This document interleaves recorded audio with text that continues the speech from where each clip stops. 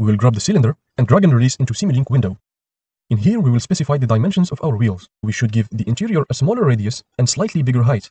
This will make it clearly visible as we can see in the screen. We just copy and paste to create the other wheel. Now it's time for building the upper body of the robot or the pendulum using the brick solid block and we specify an 18 by 8 by 0.3 centimeters as our dimension and a color of our choice. We then duplicate this shape to make three shelves. The next step is creating the rods. We will do this by importing a cylinder block and make it exactly 25 centimeters long and 5 millimeters in radius. The assembly of these parts requires the rigid transform block. And finally, we group our chassis in a subsystem. Now, the chassis and the cart should be related by a revolute joint, which as you can clearly see, makes it fall and swing like a normal pendulum. We go ahead now and open the PID block. The main parameters to consider here is these three, the proportional, the integral, and the derivative gains. We already can see that our system is stabilized, however, not forever.